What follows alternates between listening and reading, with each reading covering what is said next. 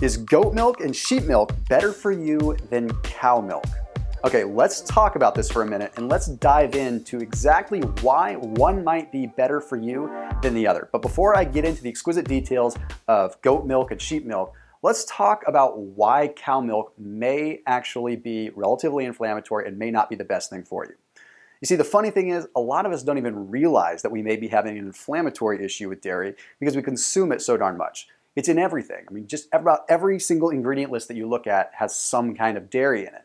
So even if we do have an inflammatory issue with dairy, we may not know it until dairy is removed from our diets. See, a lot of us just want to focus on lactose all the time, but lactose is just the sugar that's in dairy. There's a lot more to it than just that. And a lot of it comes down to casein proteins. So before I explain goat and sheep milk, let me talk about the history of casein proteins in cow dairy so that everything makes sense. And if you stick with me through this video, it's all gonna click and you're gonna have a clear defined answer on what kind of dairy you need to consume.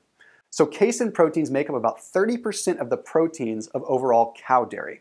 Now what we have to look at is there are two different kinds of casein proteins. You see, years and years ago, these beta caseins were called A2 casein proteins. This A2 casein protein was a relatively healthy protein. It was five or 10,000 years ago coming from the cows over in Europe, and it was a relatively healthy source. But through a genetic mutation over the course of years, about five or 10,000 years ago, this cow dairy started migrating over to a different kind of casein protein. This is known as A1. Now this A1 beta casein is the kind of casein protein that is in dairy today, and it contains something called BCM7.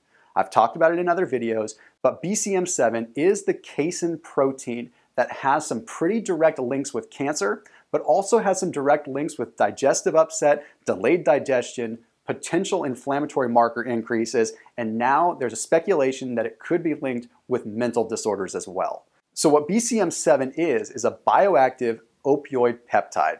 What that means is that it acts on the opioid receptors within your body. You know what else acts on opioid receptors within your body? Morphine and heroin. And those opioids are what make it extremely addictive. So in essence, that A1 style of beta casein is extremely addictive, which is why so many people find themselves addicted to dairy and addicted to cheese. Now, in a 2014 study, it was also found that BCM7, the active component in that A1 casein, is directly linked to a proliferation of cancer cells in prostate cancer patients. That's enough for me to not want to be touching some modern day dairy. But now let's transition into goat and sheep milk here. Okay, so goat and sheep milk, let's first talk about lactose, okay, because we have to cover that base. A lot of people migrate over to goat and sheep milk because it's a little bit lower in lactose. And that's true, it's about a quarter less lactose in overall milk, which honestly isn't enough to make a dramatic difference if you're lactose intolerant.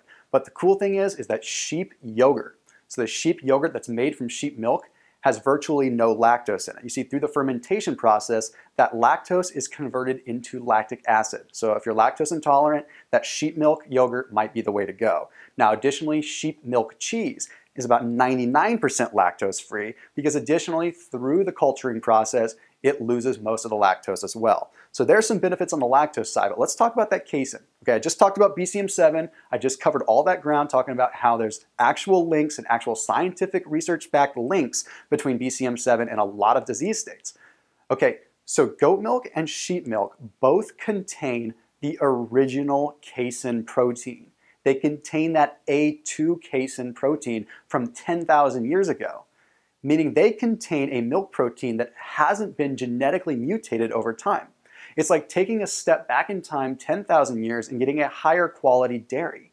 So in effect, it's much healthier to be consuming goat milk and sheep milk than it would be to consume cow dairy simply because you're getting the higher quality, more bioavailable form of casein protein that does not have that BCM7.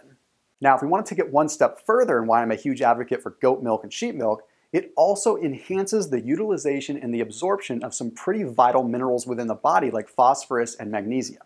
Now, you've probably seen my videos talking about magnesium because I'm pretty much obsessed with it, and I think that it's going to be a groundbreaking mineral in the next couple of years. So, any way that we can increase absorption of magnesium, I am all for. And lastly, if you're looking at this video because you're trying to determine the best way that you can get protein for building muscle and for burning fat, well, it just so happens that goat and sheep milk are one of the most bioavailable forms of dairy that we can get protein from. So if you're looking for an alternative to traditional cow dairy whey protein, goat milk and sheep milk proteins might be one of the best bets that you can possibly go for.